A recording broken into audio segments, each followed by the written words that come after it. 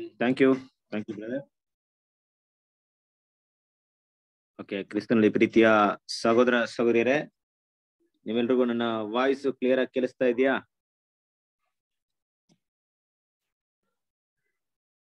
Voice ಕೇಳಿಸ್ತಾ ಇದೆಯಾ?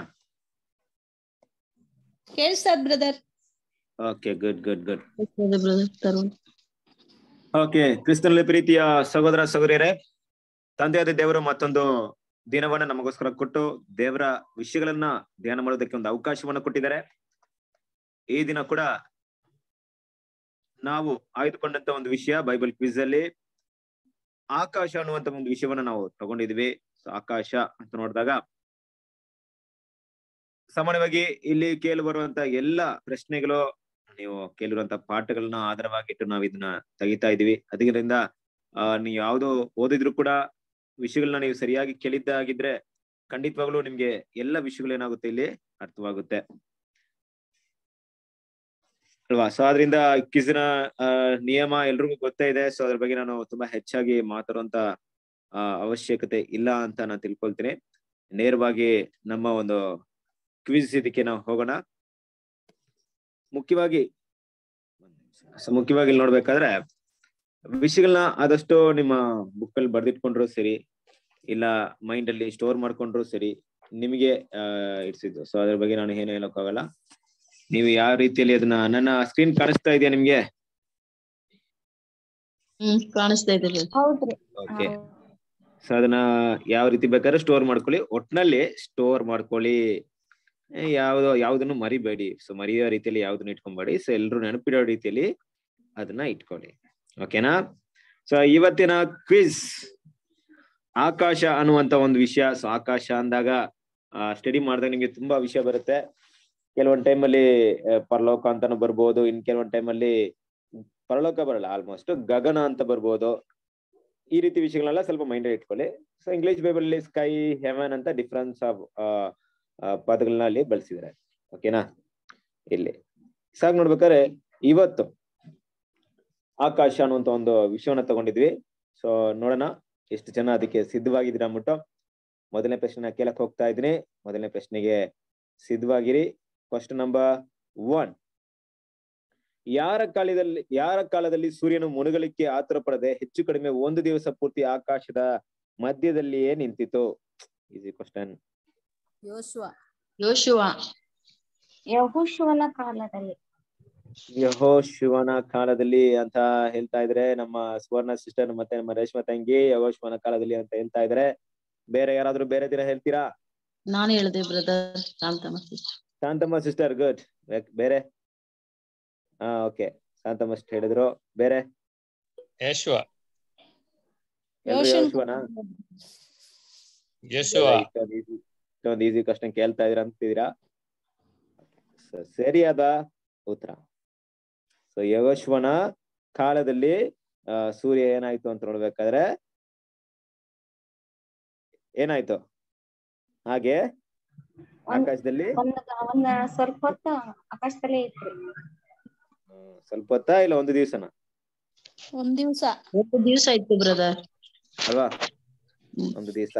Okay ಒಂದು ದಿವಸ ಪೂರ್ತಿ ಸೂರ್ಯ ನಿಂತ್ಕೊಳಕ್ ಆಗುತ್ತಾ ಆಗುತ್ತೆ ಆಗಲ್ಲ ಆಗುತ್ತೆ ಅಂದ್ರೆ ಓಕೆ ಯಾಕಂದ್ರೆ ವಿಜ್ಞಾನದ ರೀತಿಯಲ್ಲಿ ಬೇರೆ ವಿಷಯ. ಯಾಕಂದ್ರೆ ಆ ಟಾಪಿಕ್ನ ಇಲ್ಲಿ ತೆಗಿಯಕ್ ಹೋಗಲ್ಲ. ನೀವು ಕೇಳಿರ್ತೀರಾ? ಬಟ್ ಯೋಶಿವನ ಕಾಲದಲ್ಲಿ ಅಂತ ನೀನ್ ನೆನ್ಪಿಟ್ಕೊಂಡಿದ್ದು ಕರೆಕ್ಟ್ ಉತ್ತರ. Okay next question question number two ದೇವರು ಎರಡನೆಯ ದಿನದಲ್ಲಿ ಉಂಟು ಮಾಡಿದ ಸೃಷ್ಟಿಯನ್ನು ಯಾಕೆ ಒಳ್ಳೆಯದೆಂದು ಹೇಳಲಿಲ್ಲ? ದೇವರು ಎರಡನೆಯ ದಿನದಲ್ಲಿ ಉಂಟು ಮಾಡಿದ ಸೃಷ್ಟಿಯನ್ನು ಯಾಕೆ ಒಳ್ಳೆಯದೆಂದು ಹೇಳಲಿಲ್ಲ? ಸಲೋ ಯಾಕಂದ್ರೆ ಎರಡನೇ ದಿನ ಸೃಷ್ಟಿ ಮಾಡಿದ ಆಕಾಶ ಬ್ರದರ್ ಎರಡನೇ ದಿನ ಸೃಷ್ಟಿ ಮಾಡಿದ್ದು? ಆಕಾಶ. ಆಕಾಶ ಸೃಷ್ಟಿ ಮಾಡಿದ್ರೆ ಯಾಕೆ ಒಳ್ಳೇದಂತ ಹೇಳಿಲ್ಲ?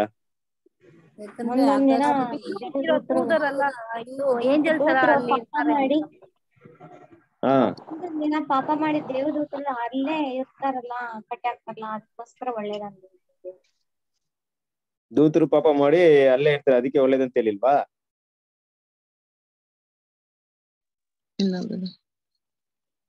ಕರೆಕ್ಟಾ ನಾನೇನೋ ಪ್ರಶ್ನೆ ಕೇಳಿದ್ರು ನೀವು ದೃಢವಾಗಿದ್ರೆ ದೃಢವಾಗಿ ಆನ್ಸರ್ ಹೇಳ್ಬೇಕಪ್ಪ. ಇಲ್ಲಾಂದ್ರೆ ನೀವು ಅರ್ಥ. ದೃಢವಾಗಿಲ್ಲ. ಕರೆಕ್ಟಾ ದೂತರು ಪಾಪ ಮಾಡಿದ್ರಿಂದ ಒಳ್ಳೇದಂತ ಹೇಳಿಲ್ವಾ? ಹಾಗಾದ್ರೆ ಮೂರನೇ ಭೂಮಿ ಬರುತ್ತೆ ಮೂರನೇ ಆಕಾಶ ಬರುತ್ತಲ್ವಾ? ಅವಾಗ್ಲೂ ಕೂಡ ಅದೇ ಆಕಾಶ ತಾನೇ ಇರುತ್ತೆ. ಅದು ಅದೇ ಆಕಾಶ ಅಲ್ಲಿ ಅಲ್ಲಿ ವ್ಯವಸ್ಥೆ ಚೇಂಜ್ ಮಾಡ್ತಾರೆ. ಹ, ಹ. ಅಂದ್ರೆ ಈ ದೇವರು ಎರಡನೇ ದಿನದಲ್ಲಿ ಉಂಟು ಮಾಡಿದ್ದು ನೇಚುರಲ್ ಆದಂತ ಒಂದು ಆಕಾಶ ಗುಮ್ಮಟ ಕರೆಕ್ಟ್ ಅಲ್ವಾ? ನೀರಿನ ಗುಮ್ಮಟ. ಸೊ ಅದನ್ನ ಒಳ್ಳೇದಂತ ಹೇಳಿಲ್ಲ. ನಾವು ಹೇಳ್ತಾ ಇರೋದು ಆತ್ಮಿಕವಾದಂತ ಒಂದು ಆಕಾಶದ ಬಗ್ಗೆ. ಅಂದ್ರೆ ಆಕಾಶದಲ್ಲಿರುವಂತ ಸೇನೆ ಓಕೆ ಆ ವಿಷಯ ಬೇರೆ. ಈ ಇದನ್ನ ಇದನ್ನ ಯಾಕೆ ಒಳ್ಳೇದಂತ ಹೇಳಿಲ್ಲ?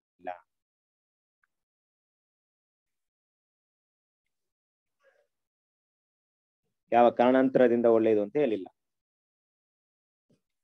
ಓಕೆ ಗುಡ್ ಎಲ್ರು ಕೂಡ ಸರಿಯಾದ ಉತ್ಸಾಹ ಹೇಳಿದ್ರ? ನೇರಷ್ಟು ಸೊ ನಿಜ ಏನಂದ್ರೆ ಆಕಾಶ ಏನಾಯ್ತು? ಮೊದಲೇ ಲೋಕದಲ್ಲಿ.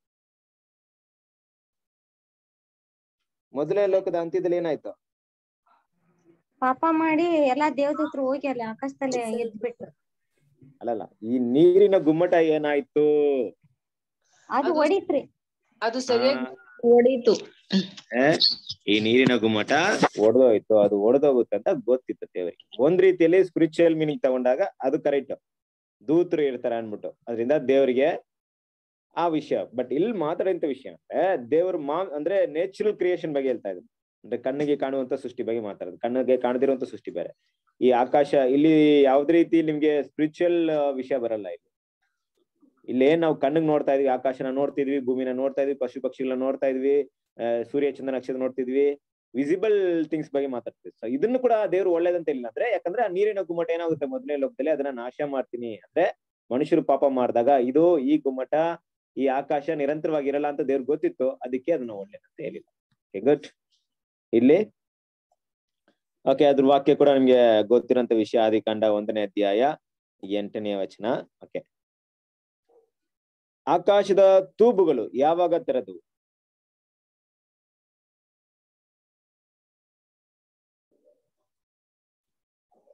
ಆಕಾಶದ ತೂಬುಗಳು ಯಾವಾಗ ತೆರೆದವು?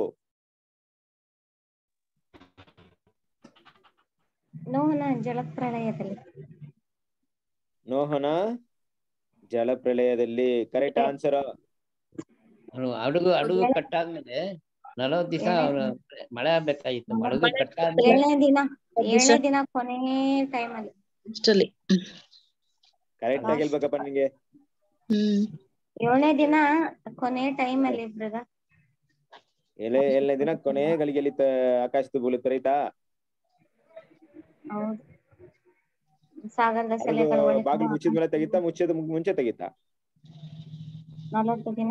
ನಾವೇ ಬಾಗಿಲು. ನಾವೇ ಬಾಗಿಲು ಮುಚ್ಚಿನ ಮೇಲೆ ಏಳ್ ದಿನ ಟೈಮ್ ಆದ್ಮೇಲೆ ರೀ. ಏಳನೇ ಏಳ್ ದಿನ. ನಂತರ. ವಾ ವಾ super super super very good ಏಳು ದಿವಸ ಟೈಮ್ ಇತ್ತು ಏಳು ದಿವಸ ಯಾಕೆ ಟೈಮ್ ಕೊಟ್ಟಂದ್ರೆ ಮೆತ್ತಸಲಾ ಅವ್ರು ಸತ್ತೋಗ್ಬಿಟ್ರು. ಅವಾಗ ಪರ್ಮಿಷನ್ ಏಳು ದಿವಸ ಮೆತ್ತಸಲಾ ಅವರು ಸತ್ತೋದ್ರು ಅವಾಗ ಚಿಕ್ಕಪ್ಪ ಅವಾಗ ಅವಾಗ ಏಳು ದಿವಸ ಟೈಮ್ ಕೊಟ್ರು. ಅವಾಗ ಮನಪರಿವರ್ತನೆ ಆಗ್ತಾರ ಅಂತ ಆಗ್ಲಿಲ್ಲ. ಕರೆಕ್ಟ್ ಎರಡನೇ ದಿವಸ ಆಮೇಲೆ ಅದು ಮಳೆ ಜೋರಾಗಿ ಬಂದಿತ್ತು ತೂಬಲ್ಲ ತೆಗ್ದಿ ಒಳ್ಳೆ ಪ್ರಯೋಗ ಮಾಡೋದು. Okay super super super okay ಎಲ್ರು ಕೂಡ ಸರಿಯಾದ ಉತ್ತರವನ್ನ ಹೇಳಿದಿರಾ? ದುಡ್ಡು ವಿಷಯ ಇನ್ನೂ ಸರಿಯಾಗಿ ಹೇಳ್ಬೇಕಾದ್ರೆ ಆಕಾಶದ ತೂಬೂಲ್ ಅಂತ ಬಂದಾಗ ನೋಹನ ಒಂದು ವಯಸ್ಸು ಬರುತ್ತೆ ಬಟ್ ಅದು ಮುಖ್ಯ ಅಲ್ಲ ನೋಹನ ಕಾಲದಲ್ಲಿ ಅಂದ್ರೆ ಜಲಪ್ರಳಯದ ಸಮಯದಲ್ಲಿ ಅನ್ನುವಂತ ವಿಷಯ ಕರೆಕ್ಟ್ ವಿಷಯ. ಇನ್ನು ಕ್ಲಿಯರ್ ಆಗಿ ನೀವು ಇನ್ನ ಹತ್ತತ್ರ ಒಂದು ವಿಷಯಗಳನ್ನ ಹೇಳಿದ್ರ? ಅದು ಕೂಡ ಕರೆಕ್ಟ್ ಇನ್ನು ಹತ್ರ ಬಂದಾಗ ನೋಹನ ಜೀವಮಾನ ಜೀವಮಾನದ ಆರುನೂರನೆಯ ವರ್ಷದ ಎರಡನೇ ತಿಂಗಳಿನ ಹದಿನೇಳನೇ ದಿನ ಅಂದ್ರೆ ಅದು ಇನ್ನೂ ಕರೆಕ್ಟ್ ಆಗಿರುತ್ತೆ ಬಟ್ ಓವರ್ ಆಲ್ ಗುಡ್ ಸರಿಯಾದ ಉತ್ತರ. ನೆಕ್ಸ್ಟ್ ಕ್ವಶನ್ ನಂಬರ್ ಫೋರ್ ಯಾವ ದಿನದಲ್ಲಿ ಆಕಾಶ ಮಂಡಲವು ಬೆಂಕಿ ಹತ್ತಿ ಲಯವಾಗಿ ಹೋಗುವುದು? ಸೂರ್ಯಚಂದ್ರ ನಕ್ಷತ್ರಗಳು ಉರಿದು ಕರಗಿ ಹೋಗುವುದು.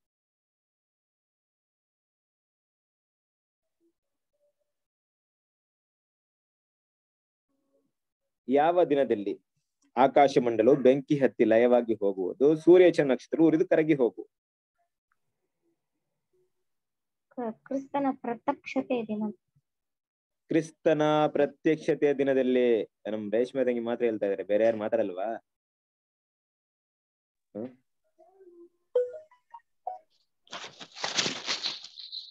ಹೇಳ್ರಿ ಎಲ್ರಿ ಎಲ್ರು ಹೇಳಿ ಮ್ಯಾಗಿಸ್ಟರ್ ಹೇಳಿ.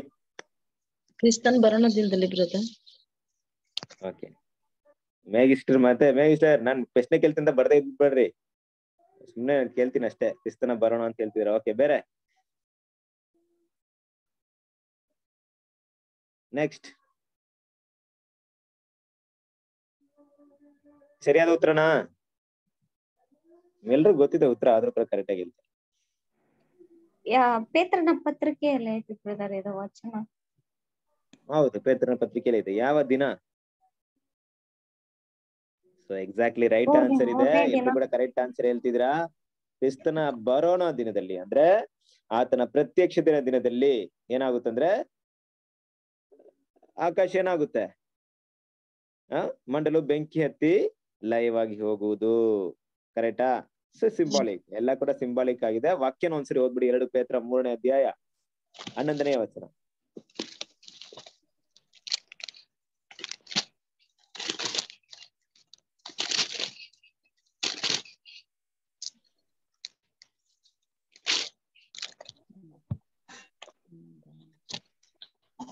ಇವೆಲ್ಲವುಗಳು ಹೀಗೆ ಓದಿ ಇವೆಲ್ಲವುಗಳು ಹೀಗೆ. ಲಯವಾಗಿ ಹೋಗುವುದರಿಂದ ನೀವು ದೇವರ ದಿನದ ಪ್ರತ್ಯಕ್ಷತೆಯನ್ನು ಎದುರು ನೋಡುತ್ತಾ ಹಾರೈಸುತ್ತಾ ಎಷ್ಟೋ ಪರಿಶುದ್ಧವಾದ ನಡವಳಿಕೆಯು ಭಕ್ತಿಯು ಉಳ್ಳವರಾಗಿರ್ಬೇಕಲ್ಲ? ಆ ದಿನದಲ್ಲಿ ಆಕಾಶ ಮಂಡಲು ಬೆಂಕಿ ಅತಿ ಲಯವಾಗಿ ಹೋಗುವುದು ಸೂರ್ಯ ಚಂದ್ರ ನಕ್ಷತ್ರಗಳು ಉರಿದು ಕರಗಿ ಹೋಗುವು ಆದರೆ ನಾವು ಆದರೆ ನಾವು ದೇವರ ವಾಗ್ದಾನವನ್ನು ನಂಬಿ ನೂತನ ಆಕಾಶ ಮಂಡಲವನ್ನು ನೂತನ ಭೂಮಂಡಲವನ್ನು ಎದುರು ನೋಡುತ್ತಾ ಇದ್ದೆವು. ಅವುಗಳಿಗೂ ಅವುಗಳಲ್ಲಿ ನೀತಿಯು ವಾಸವಾಗಿ ಇರುವುದು. ಓಕೆ ಗುಡ್ ಗುಡ್ ಸಾಕು ಇದು ಅಂದ್ರೆ ಆಕಾಶ ಮಂಡಲವು ಅಂತ ಹೇಳಿದಾಗ ಇದು ಸಿಂಬಾಲಿಕ್ ಮೀನಿಂಗ್ ಅಲ್ಲಿರುವಂತ ವಿಷಯ. ಇದೆಲ್ಲ ನೀವು ಕೇಳಿರ್ತೀರಾ ಮತ್ತೆ ಈ ಒಂದು ಟಾಪಿಕ್ ಅಲ್ಲಿ ಹೇಳುವಂತ ನೆಸೆಸಿಟಿ ಇಲ್ಲ. ಈ ಆಕಾಶ ಇಲ್ಲದೆ ಹೋಗುತ್ತೆ ಅಂದಾಗ ಕಣ್ಣಿಗೆ ಕಾಣಿಸುವಂತ ಆಕಾಶದ ಬಗ್ಗೆ ಮಾತಾಡ್ತಿಲ್ಲ ಅಂತ ನಿಮ್ಮೆಲ್ರಿಗೂ ಗೊತ್ತಿದೆ. ಬೆಂಕಿ ಅಂದ್ರೆ ನಾಶವಾಗುತ್ತೆ ರಿಯಲ್ ಆಗಿ ಅದು ರಿಯಲ್ ಆಗಿ ಕರಿಗೆ ಬೆಂಕಿ ಆಕಾಶ ಭೂಮಿ ಲಯವಾಗಿ ಹೋಗುತ್ತೆ ರಿಯಲ್ ಆಗುತ್ತದೆ ಅದು. ಸಿಂಬಲಿಕ್ ಸಿಂಬಾಲಿಕ್ ಇದು ಇದನ್ನ ಈ ಪಾಯಿಂಟ್ ಲಾಸ್ಟ್ ಅಲ್ಲಿ ಡಿಸ್ಕಸ್ ಮಾಡೋಣ. ಓಕೆ ಓಕೆ ಬಟ್ ಕ್ರಿಸ್ತನ ಬರೋಣ ಅನ್ನೋದು ಸರಿಯಾದ ಉತ್ತರ. ಓಕೆ ಪ್ರಧಾನ ದೂತನ ಶಬ್ದದೊಡನೆಯೋ ದೇವರ ತುತ್ತುರಿಯೊಡನೆಯೋ ಆಕಾಶದಿಂದ ಇಳಿದು ಬರುವನು ಯಾರು? ನಮ್ಮ ಕರ್ತನ ದೇಶ ಆಗ ಯಾರು ಮೊದಲು ಎದ್ದು ಬರು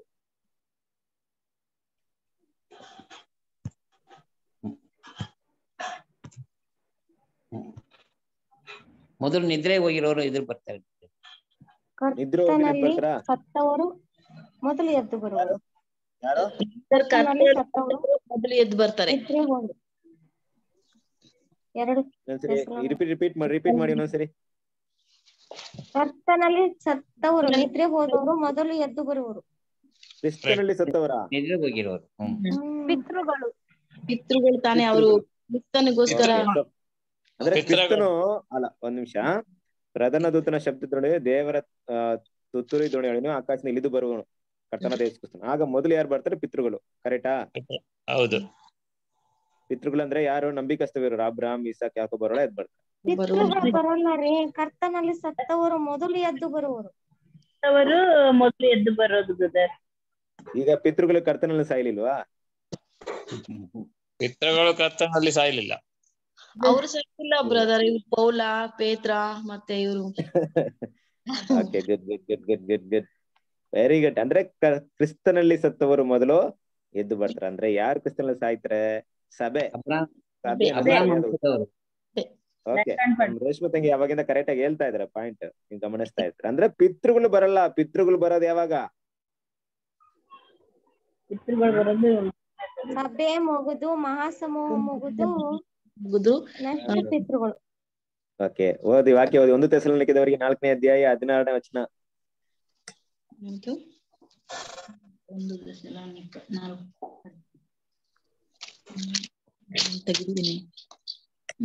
ನಾಲ್ಕು ನಾಲ್ಕಿಲ್ಲ ಐತೆ. ಕರ್ತನು ತಾನೇ. ಆಜ್ಞಾಘೋಷದೊಡನೆಯೂ ಪ್ರಧಾನ ದೂತನ ಶಬ್ದದೊಡನೆಯೂ ದೇವರ ತುತೂರಿ ಧ್ವನಿಯೊಡನೆ ಆಕಾಶದಿಂದ ಇಳಿದು ಬರುವನು. ಆಗ ಕ್ರಿಸ್ತನಲ್ಲಿ ಸತ್ತವರು ಮೊದಲು ಎದ್ದು ಬರುವರು. ಆ ಕ್ರಿಸ್ತನಲ್ಲಿ ಸತ್ತವರು ಮೊದಲು ಎದ್ದು ಬರು ಇಲ್ಲಿ ಏನಂದ್ರೆ ವಾಕ್ಯನ ಫಸ್ಟ್ ಕ್ಲಿಯರ್ ಆಗಿ ಅರ್ಥ ಮಾಡ್ಕೊಂಡ್ಬಿಡ್ರಿ. ಒಂದು ವಾಕ್ಯ ಓದಿದಾಗ ಇಲ್ಲಿ ಚೂಸ್ ಮಾಡಿರೋಂತ ವಾಕ್ಯ ಎಲ್ಲ ನಮಗೆ ತುಂಬಾ ಬೇಕಾಗಿರೋಂತ ವಾಕ್ಯನ ಚೂಸ್ ಮಾಡಿ. ಅದನ್ನ ಮನಸ್ಸಲ್ಲಿ ಇಟ್ಕೊಳ್ಳಿ. ಅವಾಗ ಏನಾಗುತ್ತೆ ಅಂದ್ರೆ ಆ ವಾಕ್ಯಕ್ಕೆ ಸಂಬಂಧಪಟ್ಟಂತ ಸತ್ಯ ನಿಮ್ಮ ಮೈಂಡಲ್ಲಿ ಉಳ್ಕೊಳ್ಳುತ್ತೆ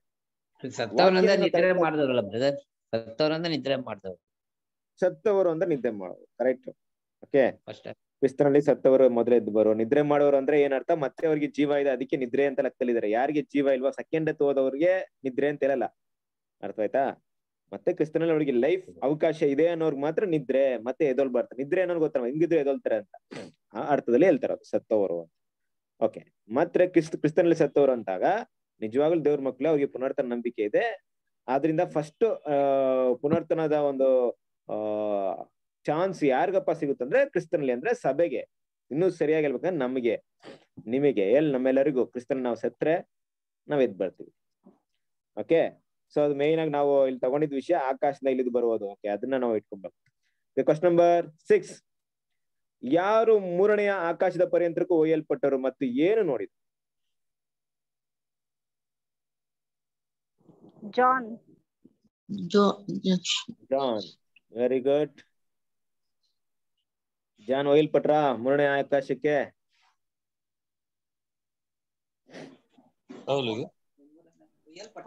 ಜಾನ್ ಅಂದ್ರೆ ಯಾ ಜಾನ್? ಜಾನ್ ಅಲ್ಲಿ ತುಂಬಾ ಜಾನ್ ಇದಾರಲ್ಲ.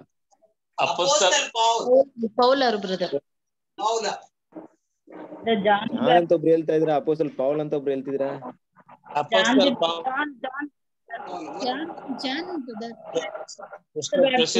ಅಪೋಸ್ತಲ ಪೌಲ್ ಅಂತ. ಆ ಪದ್ಮ ದೀಪದಲ್ಲಿ ಬಿದ್ದಾಗ ಆಮೇಲೆ ಅಲ್ಲಿ ಅಲ್ಲಿ ಪರಿವರ್ತನೆ ಆಗಿ ಅವರು ಮೂರನೇ ಆಕಾಶ ಅಲ್ಲ ಇಲ್ಲಿ ವಾಕ್ಯ ಸತ್ಯವೇದ ವಾಕ್ಯ ಹೇಳುವಂತ ವಿಷಯವನ್ನ ಹೇಳ್ಬೇಕು. ಸತ್ಯವೇದ ವಾಕ್ಯದಲ್ಲಿ ಯಾವ ರೀತಿ ಇದೆ ಅದನ್ನ ಮಾತ್ರ ನಾನು ಮೆನ್ಷನ್ ಮಾಡಿದ್ದೀನಿ. ಓಕೆ ಅಪೋಸ್ತಲ್ ಪಾಲ ಅಪೋಸ್ತಲ್ ಜಾನಪ್ಪ. ಕರೆಕ್ಟ್ ಆಗಿಲಿ ಅಪೋಸ್ತಲ್ ಪೌಲ್ ಪೌಲನ್ನು ಪೌಲ್ ಮತ್ ಪರದೇ ಪರದೇಶಿಯನ್ನು ಅವ್ರು ಪೌಲರ್ ಹ್ಮ್. ಹೇಳ್ಪಡೋದು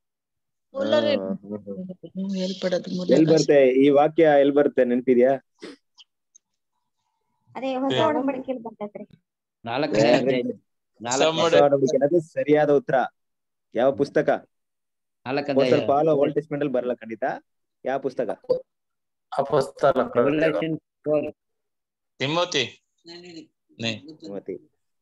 ಓಕೆ ವೆರಿ ಗುಡ್ ವಾಕ್ಯವನ್ನು ಓದೋ ಎರಡು ಕೊನಿತದವರಿಗೆ ಹನ್ನೆರಡನೇ ಅಧ್ಯಾಯ ಎರಡನೇ ವಚನ.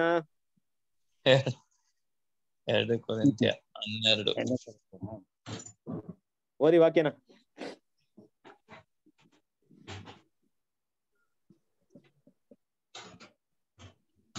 ಓದಿ. ಹನ್ನೆರಡನೇ ವಚನ ಬ್ರದರ್. ಹನ್ನೆರಡನೇ ಅಧ್ಯಾಯ ಎರಡನೇ ವಾಕ್ಯ. ಎರಡು ಕೊರಿಂತದವರಿಗೆ ಹನ್ನೆರಡನೇ ಅಧ್ಯಾಯ ಎರಡನೇ ವಾಕ್ಯ.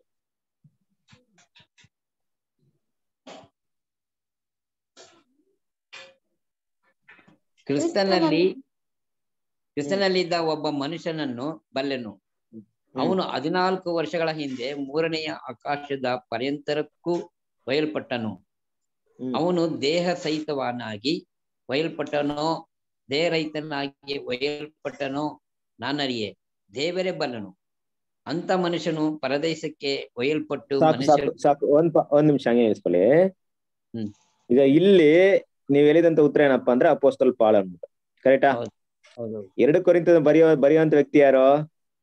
ಹೌದಾ ಪೌಲ್. ಆದ್ರೆ ಪೌಲ್. ಅಂತ ವಿಷಯ ಏನಂದ್ರೆ ಕ್ರಿಸ್ತನಲ್ಲಿದ್ದ ಒಬ್ಬ ಮನುಷ್ಯನನ್ನು ಬಳ್ಳೆನು ನನ್ಗೆ ಗೊತ್ತು ಆ ಮನುಷ್ಯನ ಬಗ್ಗೆ. ಅವನು ಹದಿನಾಲ್ಕು ವರ್ಷಗಳ ಹಿಂದೆ ಮೂರನೇ ಆಕಾಶದ ಪರ್ಯಂತ ಒಯ್ಯಲ್ಪಟ್ಟನು ಅಂತ ಒಬ್ಬ ಮನುಷ್ಯನ ಬಗ್ಗೆ ಮಾತಾಡ್ತೀರ ಮತ್ತೆ ಅಪೋಸ್ಟಲ್ ಪಾಲ್ ಅಂತ ಹೆಂಗ್ ಹೇಳೋದು?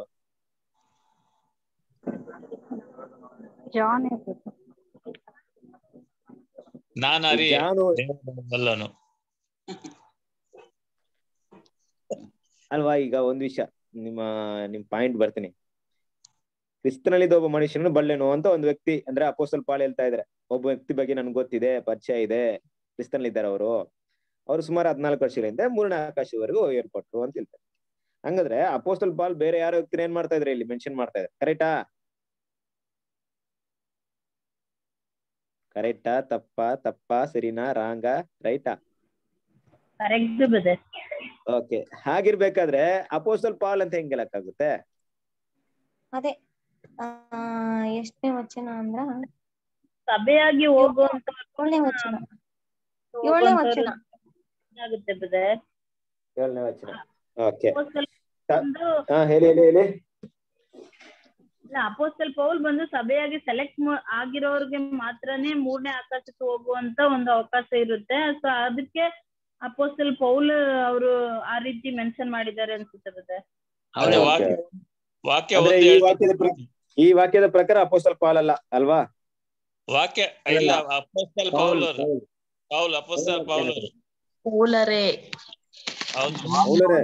ವಾಕ್ಯ ಒಂದು. ಮತ್ತೆ ಮತ್ತೆ ನನಗೂ ಕನ್ಫ್ಯೂಷನ್ ಮಾಡ್ತಾ ಇದೀರಾ ಅಪೋಸ್ಟಲ್ ಪಾಲ್ ಬೇರೆ ಯಾರನ್ನ ಹೇಳ್ತಾ ಇದ್ರೆ? ಇಲ್ಲ ಅಪೋಸ್ಟಲ್ ಪಾಲ್ ಅಂತ ಹೆಂಗ್ ಹೇಳ್ತೀರಾ?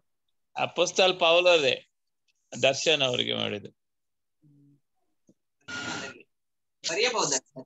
ಹೇಗೆ ಹೇಳ್ತೀರಾ ಅಪೋಸಲ್ ಪಾಲ್ ಅಂತ ಹೌದು ಅವ್ರಿಗೆ ಮೊದ್ಲೇ ದರ್ಶನ ಒಂದೇ ವಚನದಲ್ಲಿ ಒಂದೇ. ವಚನದಲ್ಲಿ ಕೊಟ್ಟಾರ ಬ್ರದರ್ ಅವರು ತಮ್ಮಂತ ಹೆಚ್ಚಿಸ್ಕೋಬಾರ್ದಂತ ತಗ್ಗಿಸ್ಕೊಂಡ? ವಾಕ್ಯ ಹೇಳ್ತಾರೆ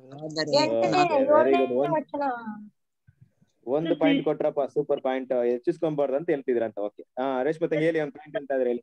ಅದೇ ಒಂದೇ ವಚನದಲ್ಲಿ ಐತ್ರಿ ಮತ್ತಂದ್ರೆ ಏಳನೇ ವಚನದಲ್ಲಿ ಒಂದ್ ಐತ್ರಿ.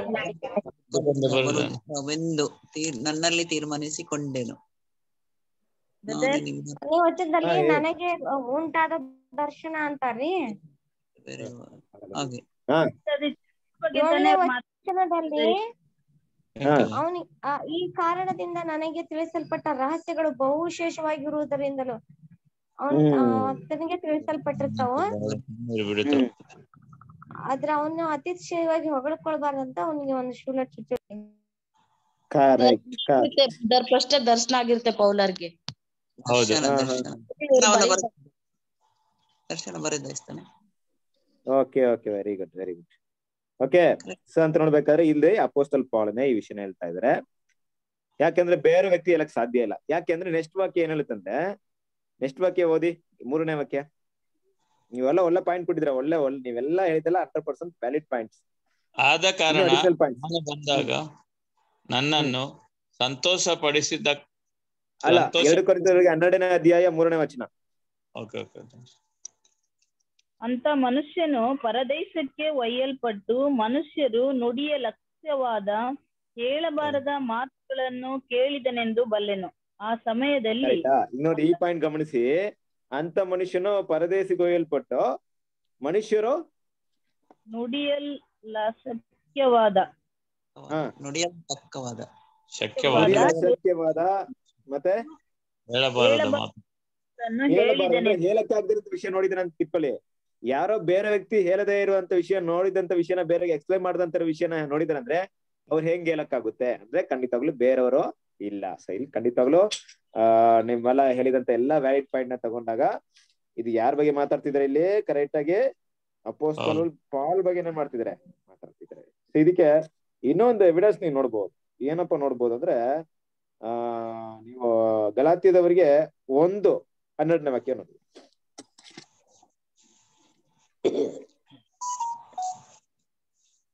ಒಂದು ಹನ್ನೆರಡು. ಒಂದು ಹನ್ನೆರಡು. ಹನ್ನೆರಡು. ನಾನು ಅದನ್ನು ಮನುಷ್ಯನಿಂದ ಹೊಂದಲಿಲ್ಲ.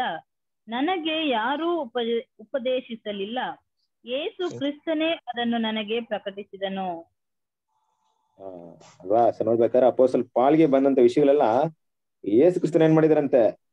ಪ್ರಕಟಣೆ ಪಡಿಸಿದಾರ ಅಂದ್ಬಿಟ್ಟು ಅವರು ಅಲ್ಲಿ ಹೇಳುವಂತ ವಿಷಯಗಳನ್ನ ನೋಡ್ತೀವಿ. ಅಲ್ವಾ? ಸೊ ಇನ್ನು ಕೆಲವೊಂದ್ ಕಡೆ ಏನ್ ಮಾಡಿದ ಮಾಡಿದಾರೆ ಅಂದ್ರೆ ಹದಿನಾಲ್ಕು ವರ್ಷಗಳ ಹಿಂದೆ ಅನ್ನುವಂಥದ್ದು ಒಂದು ಲೆಕ್ಕಾಚಾರ ಇದೆ. ಸೊ ಅದನ್ನ ಬೇರೆ ಬೇರೆ ಟೈಮಲ್ಲಿ ನೋಡೋಣ. ಬಟ್ ಎಲ್ಲಾ ವಿಷಯಗಳನ್ನ ಗಮನದಲ್ಲಿ ಇಟ್ಟಾಗ ಏನಪ್ಪ ಬರುತ್ತಂದ್ರೆ ಅಪೋಸ್ತಲ್ ಪಾಲ್ ತನ್ನನ್ನ ಹೆಚ್ಚಿಸ್ಕೊಂಬಾರ್ದು ಮಾಡಿ ದೇವರ ತನಗೆ ಕೊಟ್ಟಂತ ದರ್ಶನಗಳನ್ನ ಹೆಚ್ಚಿಸ್ಕೊಂಬಾರ್ದು ಅನ್ನೋ ರೀತಿಯಲ್ಲಿ ಒಬ್ಬ ವ್ಯಕ್ತಿ ಅಂತ ಮಾತಾಡ್ತಿದ್ರೆ ಸೊ ಅಪೋಸ್ತಲ್ ಪಾಲ್ ಅನ್ನು ಕರೆಕ್ಟ್ ಸೊ ಈ ಒಂದು ಉತ್ತರವನ್ನ ಎಕ್ಸ್ಪ್ಲೇನ್ ಮಾಡಕ್ಕೆ ತುಂಬಾ ಸಮಯ ತಗೊಂಡ್ಬಿಟ್ಟಿದ್ವಿ. Okay thank you God bless next ಆಕಾಶದಿಂದ ನಾಲ್ಕು ಮೂಲೆಗಳನ್ನು ಹಿಡಿದಿದ್ದ ದೊಡ್ಡ ಜೋಳಿಗೆ ಅಂತಿರುವ ಒಂದು ವಸ್ತ್ರವು ಇಳಿಸಲ್ಪಟ್ಟಿತು. ಯಾರ ಕಾಲದಲ್ಲಿ ಯಾವ ಕಾರಣ ಅದು ಏನು?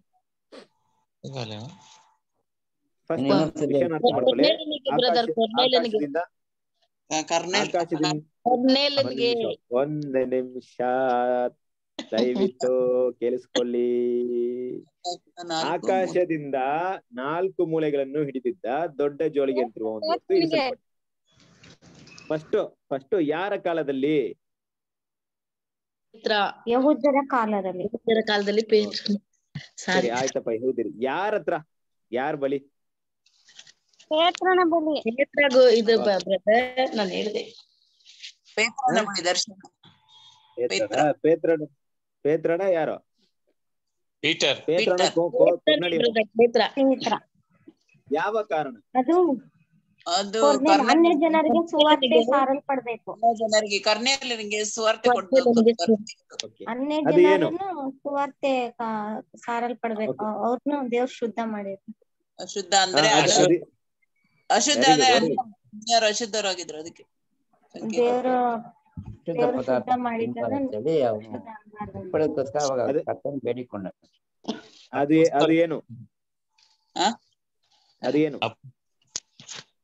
ಅದು ಕರ್ತದಲ್ಲಿ ಇದೆ ಅದು ದರ್ಶನ ಅದು. ದರ್ಶನ. Very good super super clap ಸರಿಯಾದ ಉತ್ತರ ಕೊಟ್ಟಿದೆ ಅಂದ್ರೆ ಯಾರ ಕಾಲದಲ್ಲಿ ಅಂದಾಗ ಯಹೂದಿಯರ ಕಾಲದಲ್ಲಿ ಅಂತ ಹೇಳಕ್ಕೆ ಇಂತ ಸುವಾರ್ಥ ಯುಗದಲ್ಲಿ ಅಂತ ಹೇಳ್ಬೋದು ಇನ್ನೊಂದು ವಿಷಯದಲ್ಲಿ ಅಪೋಸ್ತಲ ಪೇತ್ರ ಅನ್ನೋದು ಪೇತ್ರನ ಸಮಯದಲ್ಲಿ. ಓಕೆ ಇರ್ಲಿ. ನೆಕ್ಸ್ಟ್ ಏನಪ್ಪಾ ಅಂತ ನೋಡ್ಬೇಕಾದ್ರೆ ಯಾವ ಕಾರಣ ಅಂತ ಕೇಳಿದಾಗ ಆ ಈ ಸುವಾರ್ಥ ಬೇರೆ ಯಹೂದಿಯರ್ಗ ಮಾತ್ರ ಅಲ್ಲ ನೀ ಜನರಿಗೂ ಹೋಗ್ಬೇಕಂತ ವಿಷಯನ ಪೇತ್ರನಿಗೆ ತಿಳಿಯಪಡಿಸೋಕೋಸ್ಕರ ಈ ಪಾಯಿಂಟ್ನ ತುಂಬಾ ಜನ ತಗೊಂಡ್ ಏನ್ ಮಾಡ್ತಾರೆ? ಇವತ್ತು ಹಂದಿ ಮಾಂಸ ಎಲ್ಲ ತಗೊಂಡ್ ತಿಂತಾರಲ್ವಾ? ದೇವರು ಶುದ್ಧ ಮಾಡಿದ್ದನ್ನ ಏನ್ ಮಾಡ್ಬಾರ್ದು? ಅಶುದ್ಧ ಅಂತ ಹೇಳ್ಬಾರ್ದು. ಅಂತ ಆ ಅರ್ಥದಲ್ಲಿ ಎಲ್ಲ ಇದು ಹೇಳಿದ್ದು. ಎಲ್ಲಾ ಪ್ರಾಣಿಯು ಶುದ್ಧವಾಗ್ಬಿಟ್ಟಿದೆ ಅಂತ ಅರ್ಥದಲ್ಲಿ ಹೇಳಿಲ್ಲ. ಇಷ್ಟು ದಿನ ಯಹೂದ್ಯರು ದೇವರಿಗೆ ಸೊಕ್ಕಿಯರಾಗಿದ್ರು ಶುದ್ಧರಾಗಿದ್ರು ಅನೇಕ ಜನರು ಅಪರಿಶುದ್ಧರಾಗಿದ್ರು ಅಂತ ತಿಳ್ಕೊಂಡ್ರಲ್ಲ? ಇನ್ಮೇಲೆ ಹಂಗಲ್ಲ. ಇನ್ಮೇಲೆ ದೇವ್ರು ಎಲ್ರಿಗೂ ಏನ್ ಮಾಡಿದಾರೆ? ಕೃಪೆನ ಕೊಟ್ಟಿದ್ದಾರೆ ಎಲ್ರು ಪರಿಶುದ್ಧರಾಗಕ್ಕೆ ಅವಕಾಶ ಇದೆ ಅನ್ನೋ ವಿಷಯನ ತಿಳಿಸ್ಕೊಡಕ್ಕೆ ಈ ಒಂದು ವಿಷಯ. ಬಟ್ ಅದೇನಪ್ಪಾ ಅಂದ್ರೆ ದರ್ಶನ. ಕರೆಕ್ಟ್ ಅಲ್ವಾ? ಅದು ನಿಜವಾಗ್ಲೂ ಬರ್ಲಿಲ್ಲ. ದರ್ಶನ. ಸೊ ಸರಿಯಾದ ಉತ್ತರವನ್ನು ಕೊಟ್ಟಿದ್ದೀರಾ? ವೆರಿ ಗುಡ್ ಸೊ ನೆಕ್ಸ್ಟ್ ವಾಕ್ಯನ ಕೂಡ ಓದ್ಬಿಡಿ. ಅಪೋಸ್ತನ ಕೃತಿಗಳು ಹನ್ನೊಂದನೇ ಅಧ್ಯಾಯ ಐದನೇ ವಚನ.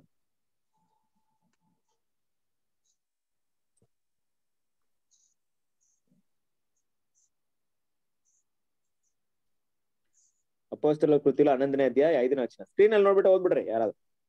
ಅದೇನೆಂದು ತಿಳಿದುಕೊಳ್ಳೋದಕ್ಕೆ ನಾನು ಎಪ್ಪ ಪಟ್ಟಣದಲ್ಲಿ ಪ್ರಾರ್ಥನೆ ಮಾಡುತ್ತಿದ್ದಾಗ ಧಾನ್ಯ ಪರಶ ವಾಸನಾಗಿದ್ದ ನನಗೆ ಒಂದು ದರ್ಶನವಾಯಿತು. ಅದೇನೆಂದರೆ ಆಕಾಶದಿಂದ ನಾಲ್ಕು ಮೂಲೆಗಳನ್ನು ಹಿಡಿದಿದ್ದ ದೊಡ್ಡ ಜೋಳಿಗೆಯಂತಿರುವ ಒಂದು ವಸ್ತು ಇಳಿಸಲ್ಪಟ್ಟು ನನ್ನ ನಾನಿದ್ದಲ್ಲಿಗೆ ಬಂತು. ಓಕೆ ಸಾಕು. ಅಲ್ವಾ? ಸೊ ಇದು ದರ್ಶನ ಇದು ಪೇತ್ರನಿಗಳಿದ್ದು ಅನೇಕ ಜನಕ್ಕೆ ಸ್ವಾರ್ಥ ಹೋಗ್ಬೇಕಂತ ಕಾರಣ ಇತ್ತು. ಗುಡ್ ಫಸ್ಟ್ ನಂಬರ್ ಏಟ್ ಆಕಾಶವು ತೆರೆದಿರುವುದನ್ನು ಮನುಷ್ಯ ಕುಮಾರ ದೇವರ ಬಲಗಡೆ ನಿಂತಿರುವುದನ್ನು ನೋಡುತ್ತೇನೆ ಎಂದು ಯಾರು ಹೇಳಿದರು. Stephen Stephen. Stephen brother. Stephen Stephen. ಸ್ಟೇಫನ. ಸ್ಟೇಫನ. ಸ್ಟೇಫನ್ ಸ್ಟೀಫನ ಸ್ಟೇಫನ. ಅವನು ಹೊಡೆಯುವಾಗ ಅವನು ಹೇಳ್ತಾನೆ. ಓಕೆ. ಸರಿಯಾದ ಉತ್ತರಣ ಬೇರೆ ಯಾರಿಲ್ಲ ಈ ಮಾತು? ಯೋಚನೆ ಮಾಡಿ. ಇಲ್ಲ. ಅವನಿಗೆ ಅದು ದರ್ಶನದಲ್ಲಿ ಕಂಡು. ಕ್ವಶನ್ ಇನ್ನೊಂದ್ಸತಿ ಹೇಳ್ರಿ ಬ್ರದರ್ ವೆರಿ ಗುಡ್ ಸರಿಯಾದ ಉತ್ತರ ಹೇಳಿದ್ರಾ? ಅಪೋಸ್ತಲ ಕೃತ್ಯಗಳು ಏಳನೇ ಅಧ್ಯಾಯ ಐವತ್ತ ಆರನೇ ವಚನವನ್ನು ಓದಿ.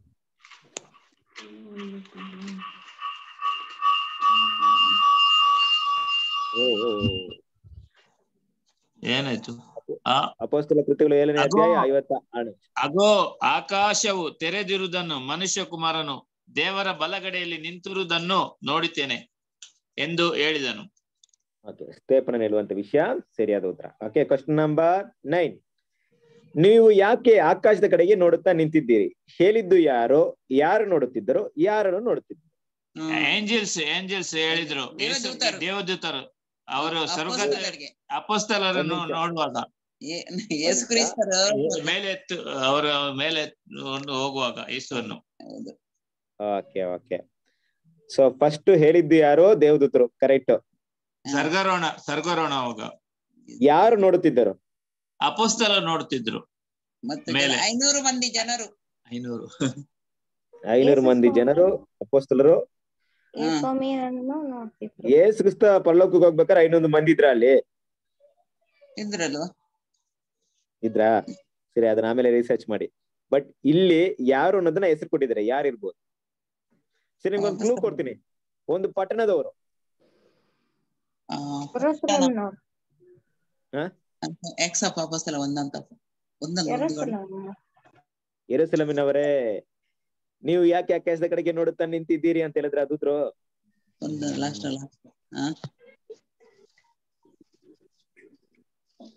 ಸರಿ ಯಾರು ನೋಡ್ತಿದ್ರು ನಿಮ್ಗೆ ಗೊತ್ತಾಯ್ತು. ಯಾರು ನೋಡ್ತಿದ್ರು? ಗುಡ್ ಯಾರು ನೋಡುತ್ತಿದ್ರು ಯಾರು ಅಂದ್ರೆ ಆ ಜನ ಯಾರು. ಓಕೆ ಅಪೋಸ್ತಲರು ಇರ್ಬೋದು. ಕರೆಕ್ಟ್ ನಿಮ್ ಉತ್ತರ ಕರೆಕ್ಟ್ ಇದೆ. ಬಟ್ ಪರ್ಟಿಕ್ಯುಲರ್ ಆಗಿ ಒಂದು ಊರಿನ ಒಂದು ಪಟ್ಟಣದವರು ಯಾರು?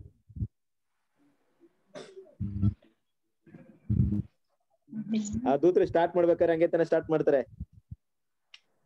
ಗಲೀಲಾಯ್ದವರೇ. ಇದ್ದವ್ರೇ ಬಾ ಬಾ ಬಾ ಅಪೋಸ್ತರ ಕೃತ್ಯಗಳು ಒಂದನೇ ಅಧ್ಯಾಯ ಹನ್ನೊಂದನೇ ವಚನ. ಗಲೀಲಾಯದವರೇ ಗಲೀಲಾಯದವರೇ ನೀವು ಯಾಕೆ ಆಕಾಶದ ಕಡೆಗೆ ನೋಡುತ್ತಾ ನಿಂತಿದ್ದೀರಿ? ನಿಮ್ಮ ಬಳಿಯಿಂದ ಆಕಾಶದೊಳಕ್ಕೆ ಸೇರಿಸಲ್ಪಟ್ಟಿರುವ ಈ ಯೇಸು ಯಾವ ರೀತಿಯಲ್ಲಿ ಆಕಾಶದೊಳಕ್ಕೆ ಹೋಗಿರುವುದನ್ನು ನೀವು ಕಂಡಿರೋ ಅದೇ ರೀತಿಯಲ್ಲಿ ಬರುವುದನ್ನು ಬರುವನು ಎಂದು ಹೇಳಿದರು. ಓಕೆ ಸೊ ಗಲೀಲೆಯದವರೇ ಆ, ದೂತರು ಹೇಳ್ತಾರೆ ಯೇಸುವನ್ನು ನೋಡಿದ್ದಾರೆ. ಕರೆಕ್ಟ್ ಎಲ್ಲ ಸರಿಯಾದ ಉತ್ತರನ ಕೊಟ್ಟಿದ್ದೀರಾ? Very good so question number ten ಆಕಾಶ ಮಂಡಲದಲ್ಲಿರುವ ಸೇನೆ ಯಾವುದು? ಯಾರು ಅದರೊಡನೆ ಹೊರಡಿ ಜಯಿಸುತ್ತಾರೆ? ದುರಾತ್ಮನ ಸೇನೆ. ದುರಾತ್ಮನ ಸೇನೆ. ದುರಾತ್ಮನ ಇಷ್ಟ್ ಬೇಗ- ಹೇಳ್ಬಿಟ್ರಿ ಉತ್ತರ ಎಲ್ಲ? ಕಷ್ಟ ಬರ್ತೀರಾ ಅಂತ ತಿಳ್ಕೊಂಡ್ರೆ ತುಂಬಾ ಫಾಸ್ಟ್ ಆಗಿದ್ದೀರಾಪ್ಪ. ಓಕೆ ಅವರೊಡನೆ ಹೊರಡಿ ಜಯಿಸ್ತಾರೆ ಯಾರು ಅವರೊಡನೆ ಹೊರಡಿ ಜಯಿಸ್ತಾರೆ ಸಭೆ Sabe. ಯೇಸು ಕ್ರಿಸ್ತ ಮಾತಾಡಂಗಿಲ್ಲ ನಾನು ಎಲ್ಲ ಹೇಳ್ಬಿಟ್ರಿ ಎಪಿಎಸ್ದವರಿಗೆ ಆರನೇ ಅಧ್ಯಾಯ ಹನ್ನೆರಡನೇ ವಚನ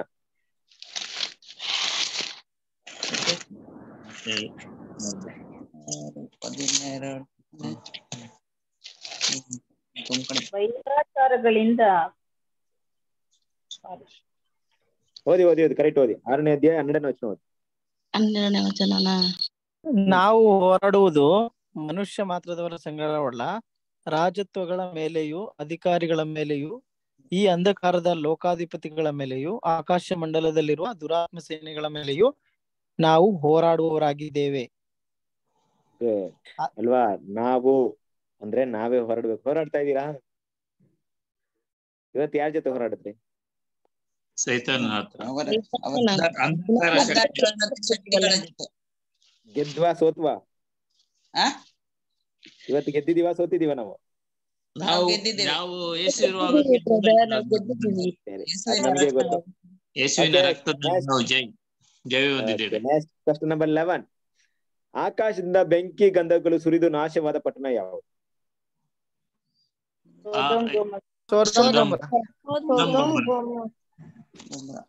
ಏನ್ ಈಸಿಯಾಗಿ ಕೇಳ್ತಾ ಇದೀನಪ್ಪ. ಲೂಕ ಸುವಾರ್ತೆ ಲೂಕನ ಸುವಾರ್ತೆ ಹದಿನೇಳನೇ ಅಧ್ಯಾಯ ಇಪ್ಪತ್ತ ಒಂಬತ್ತನೇ ವಚನ. ಲೋಟನ ಸುಧಮ್ ಊರನ್ನು ಬಿಟ್ಟು ಹೋದ ದಿವಸದಲ್ಲಿ ಆಕಾಶದಿಂದ ಬೆಂಕಿ ಗಂಧಕಗಳು ಸುರಿದು ಅವರಲ್ಲೆಲ್ಲರೂ ನಾಶ ಮಾಡಿದವು. ವೆರಿ ಗುಡ್ ಸರಿಯಾದ ಉತ್ತರ ಎಲ್ರು ಹೇಳಿದ್ರ? ಬರಬಿಟ್ಟು ಕ್ವಶನ್ ನಂಬರ್ ಟ್ವೆಲ್ ಒಂದ್ ಪ್ರಶ್ನೆನ ಇಲ್ಲಿ ಒಂದು ವಾಕ್ಯ ಇದೆ ವಾಕ್ಯನ ಓದಿ. ಲೂಕನ ಸುವಾರ್ತೆ ಹದಿನೇಳನೇ ಅಧ್ಯಾಯ ಇಪ್ಪತ್ತ ನಾಲ್ಕನೇ ವಚನ ಓದಿ. ಹದಿನೇಳು. ಯಾಕೆಂದರೆ ಮಿಂಚು ಮಿಂಚುತ್ತಾ ಆಕಾಶದಲ್ಲಿ ಒಂದು ಕಡೆಯಿಂದ ಮತ್ತೊಂದು ಕಡೆಯವರೆಗೆ ಹೇಗೆ ಒಳೆಯುವುದೋ ಹಾಗೆಯೇ ಮನುಷ್ಯ ಕುಮಾರನು ತನ್ನ ದಿನದಲ್ಲಿ ಇರು ಇರುವುದು. ಓಕೆ ಸೊ ಈ ಒಂದು ವಾಕ್ಯನ ಎಕ್ಸ್ಪ್ಲೈನ್ ಮಾಡಿ ನೋಡೋಣ. ಏನ್ ಅರ್ಥ ಇದೆ ನಾನು ಹೇಳ್ತೇನೆ. ಇದು ಇದು ಯಾಕಂದ್ರೆ ಈ ಮಿಂಚುತ್ತ ಆಕಾಶದಲ್ಲಿ ಒಂದು ಕಡೆಯಿಂದ ಮತ್ತೊಂದು ಕಡೆಯವರೆಗೆ ಹೇಗೆ ಒಳೆಯುವುದೋ ಹಾಗೆ ಮನುಷ್ಯ ಕುಮಾರನು ತನ್ನ ದಿನದಲ್ಲಿದೆ ಯಾಕಂದ್ರೆ ದೇವರಿಗೆ ಮನುಷ್ಯ ಕುಮಾರನಾದ ಯೇಸು ಪಡು ಅವರು ವಾರ್ತೆಯಾಗಿದ್ದಾರೆ. ವಾರ್ತೆ ಈ ಕಡೆಯಿಂದ ಆ ಕಡೆ ಪಡವನ ದಿಕ್ಕಿಂದ ಆ ಕಡೆ ವಾರ್ತೆ ಸಾರಲ್ಪಡ್ತಿದೆ ಅಂತ ನನ್ನೊಂದು ಅಭಿಪ್ರಾಯ. ಓಕೆ ಗುಡ್ ನೆಕ್ಸ್ಟ್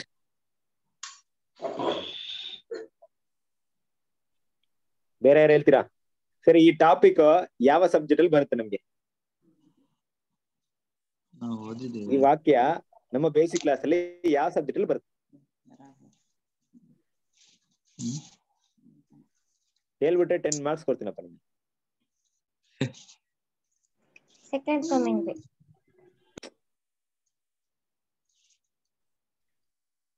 ನಮ್ ರೇಷ್ಮೆ ತಂಗಿ ಬಿಟ್ಟು ಬೇರೆಯವ್ರು ಹೇಳ್ಬೇಕು. ಹೇಳಿ. ಉತ್ತರ ಕೇಳಿಸ್ಕೊಂಡ್ರ ಈಗ? ಹಾ ಸೆಕೆಂಡ್ ಕಮಿಂಗ್ ಎರಡನೇ ಬರೋಣ.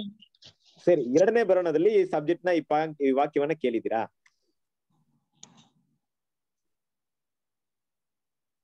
ಬ್ರದರ್ ಕೇಳೇ ಇಲ್ಲ ಬ್ರದರ್ ಅನ್ನೋರು ಯಾರಾದ್ರೂ ಇದ್ರೆ ಈ ಒಂದು ವಿಷಯನೇ ಕೇಳಿಲ್ಲ ಅಂತ. ಕೇಳಿದ್ದೇವೆ ಬ್ರದರ್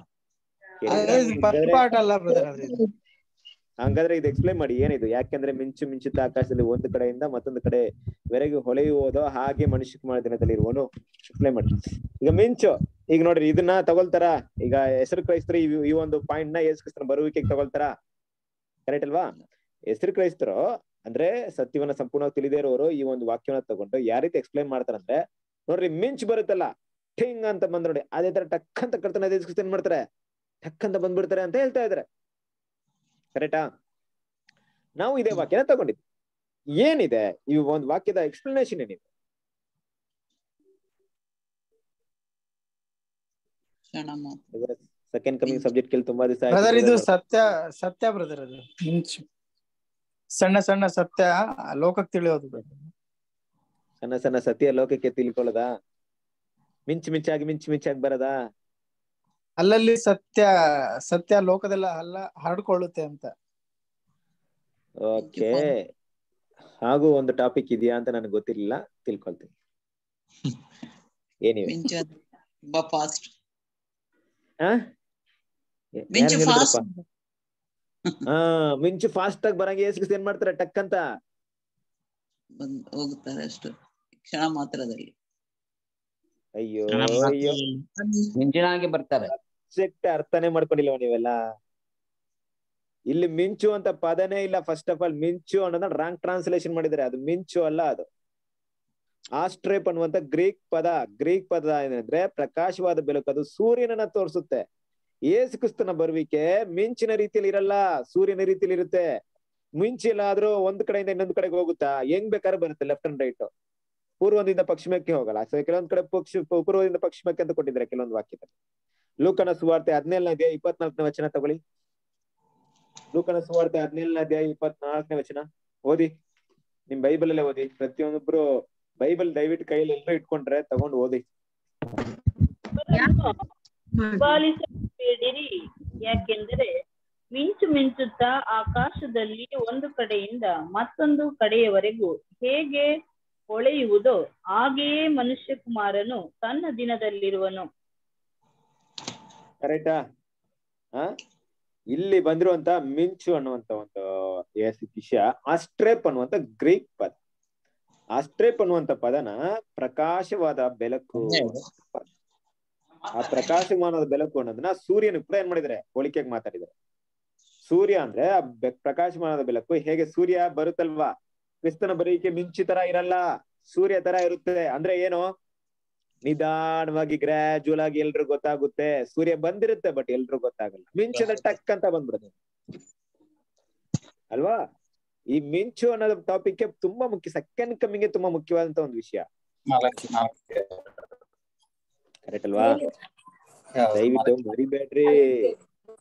ದಯವಿಟ್ಟು ನಮ್ಮ ಬೇಸಿಕ್ ಇದೆಯಲ್ಲ ಬೇಸಿಕ್ ಟ್ರೂತ್ ಅದನ್ನ ನಾವ್ ಇವತ್ತು ಇವತ್ತು ಇವತ್ತು ನಾವು ಒಂದ್ ವಿಷಯ ತಿಳ್ಕೊಳ್ಳೋಣ. ಬ್ರದರ್ ನಾನು ಇವತ್ತು ನಮ್ಮ ಕರ್ನಾಟಕದ ಏನ್ ಸುದ್ದಿ ನಡೀತಾ ಇದೆ ಅದ್ರ ಬಗ್ಗೆ ನಾನು ಕೇಳೇ ಇಲ್ಲ ಬ್ರದರ್ ಅನ್ನೋರು ಯಾರಾದ್ರೂ ಇದ್ದೀರಾ?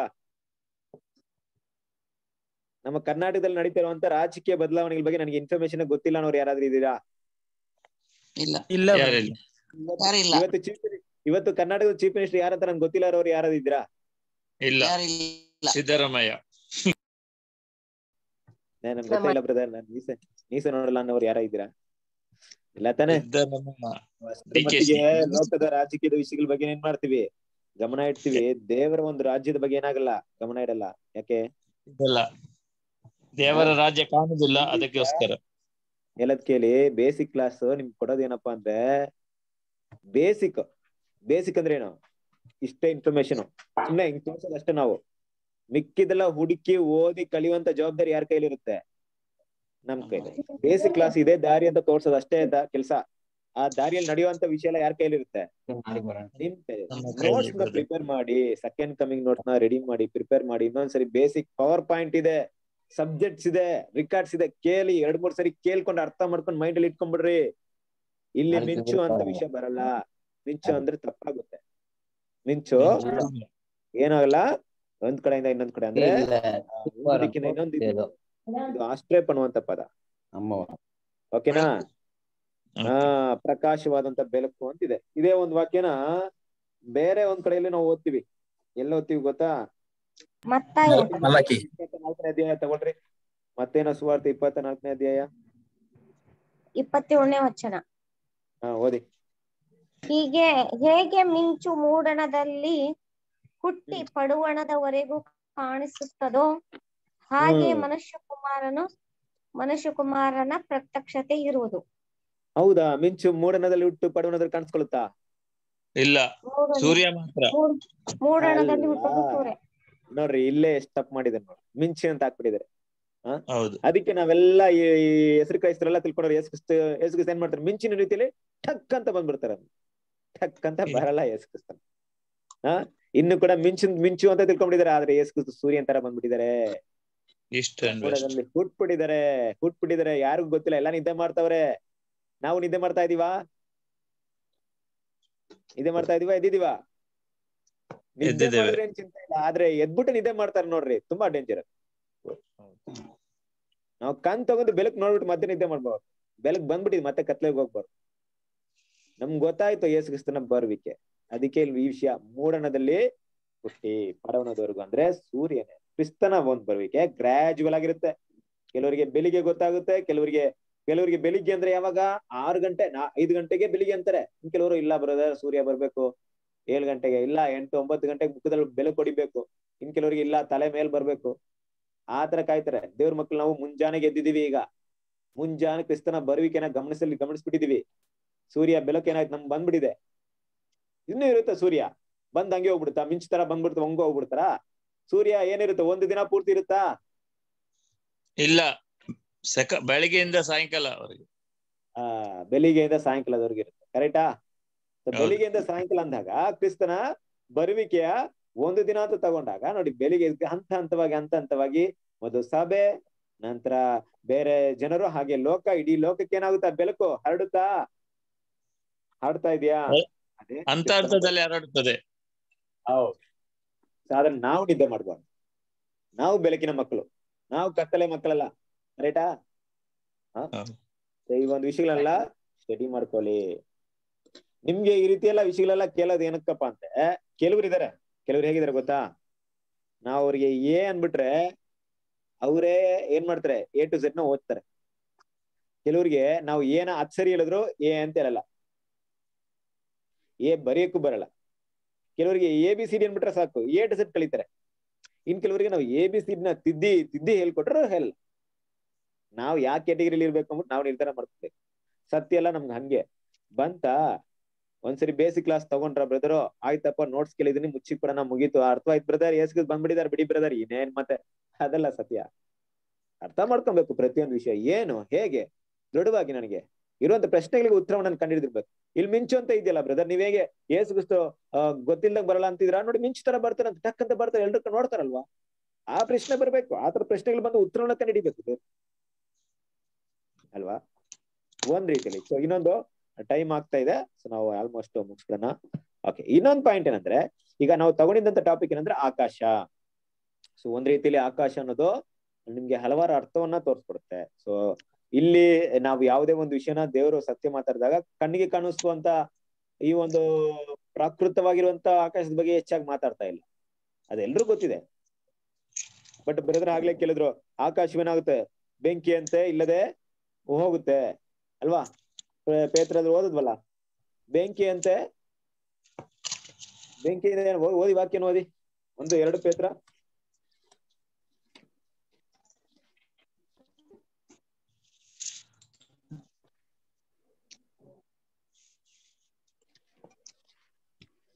ಹಾ ಮೂರನೇ ಅಧ್ಯಾಯ.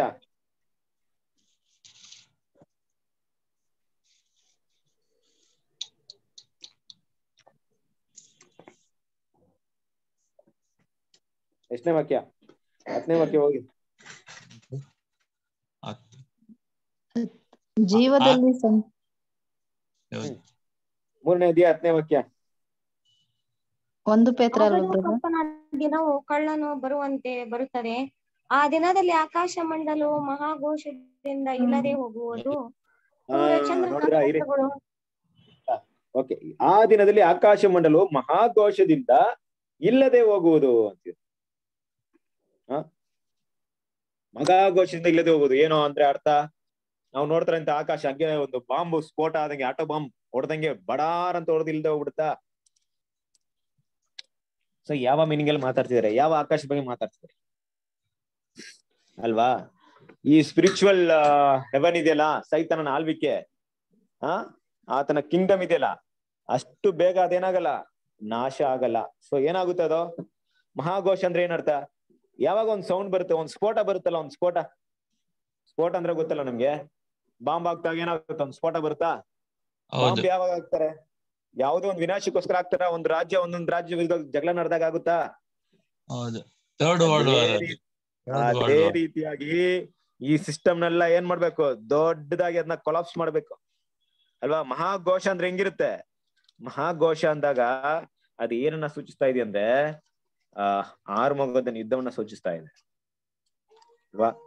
ಸ ಯುದ್ಧ ಏನಾಗುತ್ತೆ ಅಂತ ನೋಡ್ಬೇಕಾದ್ರೆ ಯುದ್ಧದಲ್ಲಿ ಈ ಸಿಸ್ಟಮ್ ಎಲ್ಲ ಸೈತಾನ ಎಲ್ಲ ಸಿಸ್ಟಮ್ ಏನಾಗುತ್ತೆ? ನಾಶವಾಗುತ್ತಾ? ಸಂಪೂರ್ಣವಾಗಿ ಏನಾಗುತ್ತೆ? ನಾಶವಾಗುತ್ತೆ. ಸೊ ಇದೆಲ್ಲ ಸಿಂಬಲಿಕ್ ಆಗಿ ಇರುವಂತ ವಿಷಯ. ನಮ್ಗೆ ನಮ್ಗೋಸ್ಕರನೇ ಯಾಕೆ ಇದನ್ನ ಬೇರೆಯವ್ರು ಯಾರಾದ್ರೂ ಓದ್ಬಿಟ್ರೆ ಏನು ಅರ್ಥ ಆಗಲ್ಲ. ಬಿಟ್ಬಿಡ್ತಾರೆ. ದೇವ್ರ ಮಕ್ಳು ನಮ್ಗೆ ಯಾಕೆ ಕೊಟ್ಟಿದ್ರು ಅಂದ್ರೆ ನಾವು ಬಿಡಲ್ಲ ಅಂತ. ಅಲ್ವಾ? ಹ? ನಾವು ಬಿಡಲ್ಲ, ಅದನ್ನೇನ್ ಮಾಡ್ಕೊಳ್ತೀವಿ? ಕ್ಲೀನ್ ಆಗಿ ಅರ್ಥ ಮಾಡ್ಕೊಳ್ತೀವಿ. ಅದನ್ನ ಅರ್ಥ ಮಾಡ್ಕೊಂಡು ಏನಿದು, ಇದ್ರ ಅರ್ಥವೇನು ಅಂತ ಏನ್ ಮಾಡ್ಕೊಳ್ತೀವಿ? ಅದನ್ನ ಸ್ಪಷ್ಟವಾಗಿ ಇದ್ ಮಾಡ್ಕೊಳ್ತೀವಿ. ನೋಡಿ, ಇನ್ನೊಂದು ರೀತಿಯಲ್ಲಿ ಹೇಳ್ಬೇಕಾದ್ರೆ ಬ್ರದರ್ ಅಂತ ಹೇಳ್ತಿದಾರೆ. ಏನಂದ್ರೆ, ಲೋಕದಲ್ಲಿರುವಂತ ಅರಾಜಕತೆ ಅಂತ ಹೇಳ್ತಾ ಇದ್ದಾರೆ. ಸಿಸ್ಟಮ್ಸ್ ಏನಾಗುತ್ತೆ? ಎಲ್ಲಾ ಸಿಸ್ಟಮ್ ಕೊಲಾಪ್ಸ್ ಆಗುತ್ತೆ. ಒಂದ್ ದೊಡ್ಡ ಬಿಲ್ಡಿಂಗ್ ಒಂದ್ ನೂರ್ ನೂರ್ ಮಾಡಿ ಬಿಲ್ಡಿಂಗ್ನ ಬೀಳಿಸಿದಾಗ ಹೆಂಗಿರುತ್ತೆ? ಆತರ ಈ ಸಿಸ್ಟಮ್ ಎಲ್ಲ ಇಲ್ದೆ ಹೋದಾಗ ಏನಾಗುತ್ತೆ ಅಂದ್ರೆ, ಈ ಸಿಸ್ಟಮ್ ಎಲ್ಲ ತೆಗ್ದಾಕುವಂತ ಕೆಲಸ ಇರುತ್ತೆ ನೋಡಿ. ಭಯಂಕರ ಕೆಲಸ ಇರುತ್ತೆ. ಮಹಾ ಶಬ್ದ ಇರುತ್ತೆ. ಓಕೆ ಆ ಶಬ್ದ ಏನನ್ನ ಸೂಚಿಸ್ತಾ ಇದೆ ಅಂದ್ರೆ, ಈ ಭೂಮಿಯಲ್ಲಿರುವಂತ ಎಲ್ಲಾ ವಿಷಯಗಳು ಸರ್ವನಾಶ ಆಗೋದನ್ನ ಸೂಚಿಸ್ತಾ ಇದೆ. ಅದನ್ನ ಅರ್ಥ ಮಾಡ್ಕೊಬೇಕು. ನಾವು ನಿಜವಾಗ್ಲಿರುವಂತ ಆಕಾಶ ಅಂತ ಏನ್ ಮಾಡ್ಕೊಬಾರ್ದು? ತಪ್ಪಾಗಿ ತಿಳ್ಕೊಬಹುದು ಮತ್ತೆ ಆ ಆಕಾಶದ ನಕ್ಷತ್ರಗಳು ಏನಾಗುತ್ತೆ ಉರಿದು ಲಯವಾಗಿ ಹೋಗುತ್ತೆ ಅಂತ ಹೇಳಿದಾಗ ಉರಿಯೋದಂದ್ರೆ ನಾಶ ಮಾಡ್ತಾರೆ. ದೇವರ ಸಿಸ್ಟಮ್ಸ್ನಲ್ಲಿ ಕೊಲಾಪ್ಸ್ ಮಾಡ್ತಾರೆ ಅಷ್ಟೇ. ಒಂದೊಂದಾಗಿ ಒಂದೊಂದಾಗಿ ಎಲ್ಲ ನಾಶ ಆಗು ಅಲ್ವಾ? ಒಂದ್ ವಿಷಯನ ನಾಶ ಮಾಡ್ಬೇಕಂದ್ರೆ ಬೆಂಕಿಯಲ್ಲಿ ಸುಟ್ರೆ ಎಷ್ಟು ಟೈಮ್ ಟೈಮ್ ಬೇಕಾಗುತ್ತೆ? ಒಂದು ದಿನ ಸಾಕು. ದೊಡ್ಡ ದೊಡ್ಡ ಬಿಲ್ಡಿಂಗ್ ನೋಡೋದು ನಿಮ್ಗೆ ಗೊತ್ತಲ್ವಾ?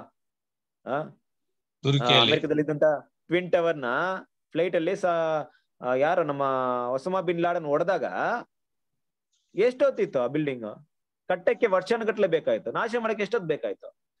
ಒಂದು ದಿವಸ. ಕೆಲವೇ ಕ್ಷಣಗಳಲ್ಲಿ ಏನಾಯ್ತು ಅದು? ಕುಸಿದು ಬಿತ್ತು ಅದು. ಕಟ್ಟಡ.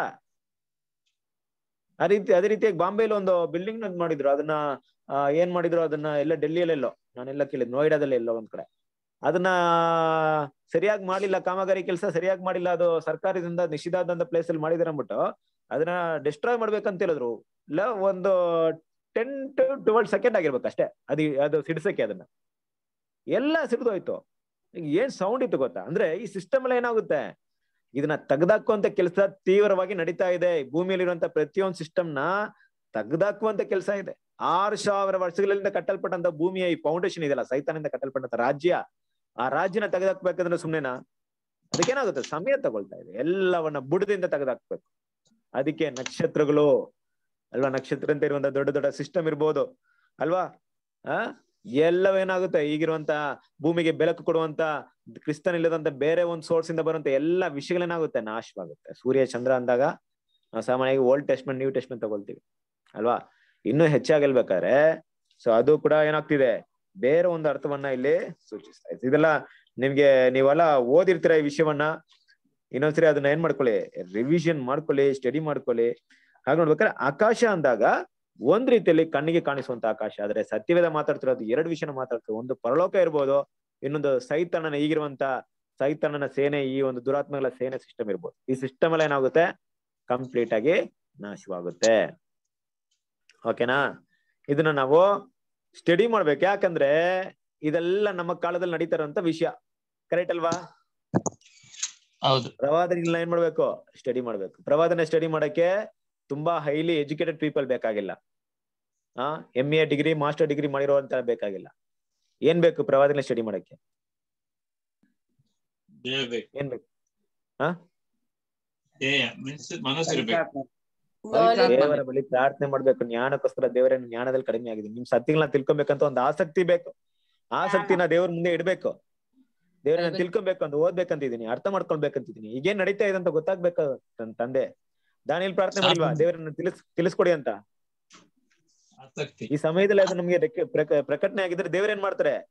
ತಿಳಿಸ್ಕೊಡ್ತಾರೆ. ಒಂದೊಂದು ಪ್ರವಾದನೆಗಳು ಸ್ಟಡಿ ಮಾಡಿ ನೋಡ್ರಿ. ಒಂದೊಂದು ಇಲ್ಲಿ ಓದ್ದಾಗ ನಿಮ್ಗೆ ಎಷ್ಟು ಆ ಕೆಲವೊಂದು ಪ್ರವಾದನೆ ಎಲ್ಲ ಸ್ಟಡಿ ಮಾಡಿದ್ರೆ ಕೈಯಲ್ಲಿ ಮ- ಮೇಲೆ ಇರುವಂತ ಕೂದಲ ನಿಂತ್ಕೊಂಡ್ಬಿಡುತ್ತೆ. ಹಂಗಿದೆ ದೇವ್ರ ವಿಷಯಗಳು.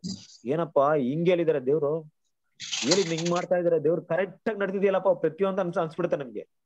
ನಮ್ಗೆ ದೇವ್ರ ಮೇಲೆ ಭಯಂಕರ ನಂಬಿಕೆ ಬಂದ್ಬಿಡುತ್ತೆ. ಭಯಂಕರ ಪವರ್ ಬಂದ್ಬಿಡುತ್ತೆ ನಮ್ಗೆ. ನಾವ್ ಗಮನಿಸ್ಬೇಕು ದೇವ್ರ ಮಕ್ಳು. ಈಗೇನ್ ನಡೀತಾ ಇದೆ ಪ್ರಪಂಚದಲ್ಲಿ? ಅಲ್ವಾ? ಸ್ಟಡಿ ಮಾಡ್ಬೇಕು. ಇದಿಲ್ಲ ಅಂತಲ್ಲ ಈಗ ನಾವೇ ಕೊಡ್ತಾ ಇರ್ತೀವಿ ಅಂತಲ್ಲ. ನೀವೇ ಸ್ಟಡಿ ಮಾಡೋದನ್ನ ಕಲಿಬೇಕು. ನೀವ್ ಒಳ್ಳೆ ವಿಷಯನ ಸ್ಟಡಿ ಮಾಡಿದ್ರೆ, ಒಳ್ಳೆ ಪಾಯಿಂಟ್ ಇದ್ರೆ, ಒಳ್ಳೆ ವಿಷಯನ ನೀವೇನ ಕಲ್ತ್ರೆ ಸಹೋದರಿಗೆ ಶೇರ್ ಮಾಡಿ, ಅವ್ರಿಗೂ ಸ್ಟ್ರಾಂಗ್ ಆಗುತ್ತೆ. ಕರೆಕ್ಟ್ ಅಲ್ವಾ? ಹಾಗೆ ಇದೆಲ್ಲ ತುಂಬಾ ಮುಖ್ಯವಾದಂತ ವಿಷಯ. ಸೊ ಮತ್ತೆ ಈ ಆಕಾಶ ಅಂತ ಹೇಳಿದಾಗ, ಆ ದೇವ್ರ ಮಕ್ಕಳು ನೆನ್ಪಲ್ಲಿ ಇಡ್ಬೇಕಂತ ಒಂದು ವಿಷಯ ಅಂದ್ರೆ ಇದೇ ಆಕಾಶದಲ್ಲಿ ಯಾರು ಹೋಗಕ್ಕೆ ಸಿದ್ಧವಾಗಿದೀವಿ ಅಂದ್ರೆ ಯಾರಿದಾರೆ ಈಗ? ಯಾರು ಯಾರಿಗೋಸ್ಕರ ಈ ಆಕಾಶ ಈಗ ಎಲ್ಲ ನಾಶ ಆಗ್ತಿರೋದು? ಆಕಾಶ ಸಿಸ್ಟಮ್ ಇವತ್ತು ನಾಶ ಆಗ್ತಿರೋದು ಉದ್ದೇಶ ಏನು? ನೋಡಿ ಆರನೇ ಅಧ್ಯಾಯ ಹನ್ನೆರಡನೇ ವಚನದಲ್ಲಿ ನೋಡಿದ್ವಿ. ನಾವು ಹೋರಾಡುವುದು ಮನುಷ್ಯ ಮಾತ್ರದವರ ಜೊತೆ ಅಲ್ಲ ಯಾರ ಜೊತೆ ಹೋರಾಡ್ಬೇಕು? ಸೈತಾನ್ ಜೊತೆ. ಸೈತಾನ್ ಜೊತೆ. ಅದೇ ಕೇಳಿದೆ. ಹೋರಾಡ್ತಿದೀವ ಇವತ್ತು? ಹೌದು ಬ್ರದರ್ ಹೋರಾಡಿದ್ರಾ? ಹೋರಾಟ ಮಾಡ್ತಾ ಇದ್ದೀವಿ ಏನೋ ಒಂದು ಒಂದು ಒಂದು ಒಂದು ಎಕ್ಸಾಂಪಲ್ ಹೇಳಿ. ಬ್ರದರ್ ನಾನು ಈ ತರ ಬಂತು ಈ ತರ ಹೋರಾಡದಂತ ನನ್ಗೆ ಕುತ್ಕೊಂಡ್ ದೇವ್ರ ವಾಕ್ಯ ಕೇಳೋದು ಮತ್ತೆ ಬೈಬಲ್ ಓದೋದು ತುಂಬಾ ಕಷ್ಟ ಆಗುತ್ತೆ. ಓಕೆ ಓಕೆ ಹಾ. ಹೆಂಗ್ ಹೋರಾಡಿದ್ರಿ ಇವತ್ತು? ಇವತ್ತು ನನ್ ದೇವ್ರಿಗೆ you cannot do anything to me ನನ್ ನಂಗೆ ಏನು ಮಾಡಕ್ಕಾಗಲ್ಲ. ನಾನ್ ದೇವ್ರ ವಾಕ್ಯ ಇವತ್ತು ಕೇಳಲೇಬೇಕು ಪ್ರತಿ ಟ ಪ್ರತಿ ಸಲ ಏಟ್ ಓ ಕ್ಲಾಕ್ ಬಂದಾಗ ನೀನ್ ನನ್ ಏನಾದ್ರೂ ಮಾಡ್ತೀಯಾ? ನನ್ ಮೈಂಡ್ ಅನ್ನ. ಡೈವರ್ಟ್ ಬೇರೆ ಕಡೆಗೆ ಇವತ್ತು I I will sit for class today ಅಂತ ಹೇಳ್ಬಿಟ್ಟು ಚಾಲೆಂಜ್ ಆಗಿ okay good good good so ನೋಡಿ ಮುಖ್ಯವಾಗಿ ನಮ್ಗೆಲ್ರಿಗೂ ಮಾದರಿ ಆಗಿರೋ ನಮ್ಮ ಕರ್ತನಾದ ಯೇಸು ಕ್ರಿಸ್ತನು. ಅಲ್ವಾ? ಸೈತಾನ್ ಹತ್ರ ಹೆಂಗ್ ಹೋರಾಡಿದ್ರು? ದೇವರ ವಾಕ್ಯ ಹೇಳಿ. ದೇವರ ವಾಕ್ಯವನ್ನು ಕತ್ತಿ ಇಟ್ಕೊಂಡ್ರ ಕೈಯಲ್ಲಿ ಕತ್ತಿ ಇಟ್ಕೊಂಡ್ರ ದೇವರ ವಾಕ್ಯ ಎಂಬ ಇಬ್ಬಾಯಿ ಕತ್ತಿ ಇಟ್ಕೊಂಡ್ರ. ದೇವ್ರ ವಾಕ್ಯನ ದೇವ್ರ ಮಕ್ಳು ಯೂಸ್ ಮಾಡ್ಬೇಕು ಯಾವಾಗ್ಲೂ. ವೆಪನ್ಸ್ ಅದೇ. ನಮ್ಮ ವಾಕ್ಯ ಎಲ್ಲ ಅದೆಲ್ಲ ಜಯಿಸಕ್ಕಾಗಲ್ಲ ನಾವೇನು ಮಾಡಕ್ಕಾಗಲ್ಲ. ದೇವ್ರ ವಾಕ್ಯನ ಯೂಸ್ ಮಾಡ್ಬೇಕು. ಯೇಸು ಕ್ರಿಸ್ತನ ಎಲ್ಲಾದ್ರೂ ಮೂರು ಸರಿ ಶೋಧನೆ ಬಂತಲ್ಲ ಎಲ್ಲಾದ್ರೂ ಯೇಸು ಕ್ರಿಸ್ತನು ಸ್ವಂತವಾಗಿ ಏನಾದ್ರು ಹೇಳಿದ್ರ? ಬರೆಯಲ್ಪಟ್ಟಿದೆಯಲ್ಲ? ಆ ಮನುಷ್ಯ ರೊಟ್ಟಿಯಿಂದ ಮಾತ್ರವಲ್ಲ ದೇವರ ಬಾಯಿಂದ ಹೊರಡುವಂತ ಪ್ರತಿಯೊಂದು ಮಾತಿನ ಬರ ಬದುಕುವಂತ ಬರೆಯಲ್ಪಟ್ಟಿದೆಯಲ್ಲ? ನಿನ್ನ ತಂದೆಯ ದೇವರನ್ನ ಪರೀಕ್ಷೆ ಮಾಡಬಾರ್ದು ಅಂತ ಬರೆಯಲ್ಪಟ್ಟಿದೆಯಲ್ಲ? ದೇವರ ಒಬ್ಬರನ್ನೇ ಆರಾಧಿಸ್ಬೇಕಂತ ಬರೆಯಲ್ಪಟ್ಟಿದೆಯಲ್ಲ ಅಂತ ಏನ್ ಮಾಡ್ತಾರೆ? ಪ್ರತಿ ಸರಿ ದೇವ್ರ ವಾಕ್ಯ ಇದ್ ಮಾಡ್ತಾರೆ. ಏನ್ ಬೇಕು ನಮ್ಗೆ? ಓದಿ ಎಪಿಸೋರಿ ಆರನೇ ಅಧ್ಯಾಯ ಹದಿಮೂರನೇ ವಾಕ್ಯ ಇವಾಗ ಬೇಡ ಆಮೇಲೆ ನೀವು ಮುಗಿಸ್ಮೇಲೆ ಆ ಅದನ್ ಬಗ್ಗೆ ಓದ್ಕೊಳ್ಳಿ. ಸರ್ವಾಯುಧ ವರ್ಗ ಇರ್ಬೇಕು ದೇವ್ರ ಮಕ್ಳಿಗೆ. ನಾವು ಹೋರಾಡ್ತಾ ಇರೋದು ಯುದ್ಧ ಮಾಡ್ತಾ ಇರೋದು ಕರೆಕ್ಟಾ? ಯುದ್ಧ ಮಾಡ್ಬೇಕು ಜಯಿಸ್ಬೇಕು. ಜಯಿಸಕ್ಕೋಸ್ಕರ ಯುದ್ಧ ಮಾಡ್ತಾ ಇದ್ವಿ. ಅಲ್ವಾ? ಖಂಡಿತವಾಗ್ಲೂ ನಮ್ ಕೈಲೇ ಜಯಿಸಕ್ಕಾಗಲ್ಲ. ದೇವ್ರ ನಮ್ ಪಕ್ಷದಲ್ಲಿದ್ರೆ ನಮ್ಮನ್ನ ಯಾರು ಎದುರಿಸಕ್ಕಾಗಲ್ಲ. ಕರೆಕ್ಟ್ ಅಲ್ವಾ? ಹಾಗಾಗಿ ದೇವ್ರ ನಮ್ ಪಕ್ಕದಲ್ಲಿ ಇದ್ರ ಅಂದ್ಬಿಟ್ಟು ಒಂದೇ ಒಂದ್ ಪ್ರೂಫ್ ಏನ್ ಗೊತ್ತಾ? ದೇವ್ರ ವಾಗ್ದಾನದಲ್ಲಿ ದೇವರ ಸತ್ಯ ವಾಕ್ಯ ನಮ್ಮ ಹೃದಯದಲ್ಲಿ ಇರೋದು ಅಷ್ಟೇ. ಈಗೆಲ್ಲ ವಾರು ಎಲ್ಲೂ ನಡೆಯಲ್ಲ. ನೋಡಿ ಕುತ್ಕೊಂಡಿದ್ದೀನಿ ನಾನು. ನಾನು ಕುತ್ಕೊಂಡ್ ಕ್ಲಾಸ್ ತೆಗಿತಾ ಇದ್ದೀನಿ ನೀವೆಲ್ಲ ಕುತ್ಕೊಂಡ್ ಕೇಳ್ತಾ ಇದ್ದೀರಾ? ಎಲ್ಲಿದೆ ವಾರ ಈಗ? ಎಲ್ಲಿ ನಡೀತಾ ಇದೆ ವಾರ? ಎಲ್ಲ ವಾರ ನಡೆಯೋದು ನಮ್ಮ ಮೈಂಡ್ ಅಲ್ಲಿ. ನಮ್ಗಿರಂತ ವಾರ ಯಾರಿಗೂ ಕಾಣಿಸಲ್ಲ. ನೀವು ನಾವು ಸೈತಾನ್ ಜೊತೆ ಹೋರಾಡೋದು. ನಾನ್ ಸೈತಾನ್ ಜೊತೆ ಹೋರಾಡ್ತಿದ್ದೀನಿ ಅಂತ ಯಾರು ಕಾಣ್ ಸೈತಾನ್ ಏನ್ ಮಾಡ್ತಾನೆ ಪ್ರತಿ ಸರಿ? ಆತನ ಅಗ್ನಿ ಅಸ್ತ್ರಗಳನ್ನ ಪ್ರಯೋಗ ಮಾಡ್ತಾ ಇರ್ತಾನೆ. ಏ ಹಿಂಗ್ ಮಾಡ್ಬಾರ್ದು ಹಂಗ್ ಮಾಡ್ಬಾರ್ದು ಇದನ್ನ ಹಿಂಗ್ ಮಾಡೋಣ ಹಂಗ್ ಮಾಡೋಣ. ನಾವ್ ಎಲ್ಲವನ್ನ ದೇವ್ರ ವಾಕ್ಯಿಂದ ಎದುರಿಸ್ಬೇಕು. ಸೊ ಅದು ಬೇರೆ ಟಾಪಿಕ್ ಓಕೆ ಸೊ ಅದರಿಂದ ಏನಕ್ಕಪ್ಪ ಈ ಪಾಯಿಂಟ್ ಹೇಳ್ತಾ ಇದ್ದಂತೆ ಅಂದ್ರೆ ಆಕಾಶ ಮಂಡಲನ ಇವತ್ತು ಕ್ಲೀನ್ ಮಾಡ್ತಾರ ಇರೋದು ಏನಕ್ಕಪ್ಪ ಅಂದ್ರೆ ನಾವು ಆ ಪ್ಲೇಸ್ಗೆ ಹೋಗ್ಬೇಕು. ಕರೆಕ್ಟ್ ಅಲ್ವಾ? ಹೊಸ ಹೊಸ ಭೂಮಿ ಹೊಸ ಆಕಾಶ ಬರ್ತಾ ಇದೆಯಲ್ಲ ಆ ಹೊಸ ಆಕಾಶದಲ್ಲಿ ಯಾರು ಇರ್ತಾರೆ? ಸ್ವಾಮಿ ಇರ್ತಾರೆ. ಆ ಸಭೆ. ಸ್ವಾಮಿ ಇರ್ತಾರೆ ಸಭೆ ಇರುತ್ತೆ. ಕರೆಕ್ಟ್ ಅಲ್ವಾ? ಹೊಸಾದ್ ಮಾಡ್ತಾ ಇದ್ರೆ. ಯೋಚನೆ ಮಾಡಿ ಇರೋದ್ ಹಳೆದೆಲ್ಲ ಕ್ಲೀನ್ ಮಾಡಿ ದೇವ್ರು ಮತ್ತೆ ಹೊಸದ್ರಲ್ಲಿ ಈ ಹಳೇದಿದ್ದಂಗೆ ತಗೊಂಡೋಗಿ ಇಟ್ಬಿಟ್ರೆ ಆ ಲೋಕ ಹೆಂಗಿರುತ್ತೆ? ಇಟ್ಬಿಡ್ತಾರಾ? ಸೈತನ ತರ ಭಾವನೆ ಇರೋರನ್ನ ಸೈತಾನ್ ಮೆಂಟಾಲಿಟಿ ಇರೋರ್ನ ಇಟ್ಬಿಡ್ತಾರ? ಆದ್ರೆ ನಾವು ಸೈತನ್ ಹೋರಾಡ್ಬೇಕು. ಸೈತನ ಪ್ರತಿಯೊಂದನ್ನ ಹೋರಾಡ್ದವ್ರು ಮಾತ್ರ ಅಲ್ಲಿ ಇರ್ತಾರೆ. ಆ ಆಕಾಶದಲ್ಲಿ ಇರ್ತಾರೆ. ಆ ಆಕಾಶದಲ್ಲಿ ಏನೋ ನೀತಿ ವಾಸ ಮಾಡ್ತಂದ್ರೆ ಸ್ವಲ್ಪ ಅನೀತಿ ಇರಲ್ಲ ಅಂದ್ರೆ ಇವತ್ತು ಸೈತನ ಪ್ರತಿಯೊಂದು ಅನೀತಿಯನ್ನ ನಾವೇನ್ ಮಾಡ್ಬೇಕು? ಹೋರಾಟ ಜಯಿಸಿರ್ಬೇಕಲ್ವಾ? ಅದಕ್ಕೆ ನಮ್ಗೆ ಹೋರಾಟ ಇರೋದು. ನೋಡೋಣ, ಯಾರು ಜಯಿಸ್ತಾರೆ? ಸೈತನ ಎಲ್ಲಾ ಒಂದು ತಂತ್ರಗಳನ್ನ ಜಯಿಸಿ ಯಾರು ಬರ್ತಾರೆ? ಅವ್ರಿಗೆ ಆ ಒಂದು ನೂತನ ಆಕಾಶದಲ್ಲಿ ಅವಕಾಶ. ಅದಕ್ಕೆ ನಾವು ಹೋರಾಡ್ತಾ ಇದ್ವಿ. ಆದ್ರೆ ದಯವಿಟ್ಟು ಗಾಳಿಯಲ್ಲಿ ಗುದ್ದ ರೀತಿಲಿ ಜಗಳ ಮಾಡ್ದೆ, ಯುದ್ಧ ಮಾಡ್ದೆ, ಆ ಶತ್ರುಗಳನ್ನ ಜಯಿಸುವಂತ ರೀತಿಯಲ್ಲಿ ಯುದ್ಧ ಮಾಡೋದನ್ನ ಕಲಿಬೇಕಾಗಿದೆ ದೇವ್ರು ನಮ್ಗೆ ಯುದ್ಧ ವಿದ್ಯೆಯನ್ನ ಕಲಿಸ್ಕೊಡ್ತಾರೆ ಬರುವಂತ ದಿನಗಳಲ್ಲಿ ನಾವು ದೇವ್ರು ಇಟ್ಟಿರುವಂತ ನೂತನ ಆಕಾಶದಲ್ಲಿ ನಾವು ಆಳ್ವಿಕೆ ಮಾಡೋದಕ್ಕೆ ಸಿದ್ಧರಾಗೋಣ. ಓಕೆನಾ? ಓಕೆ ಸಮಯ ಮುಗೀತು.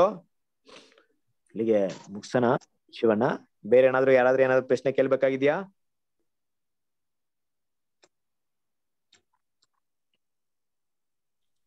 ಎನಿ ಎನಿ ಕ್ವಶನ್ ಸರಿ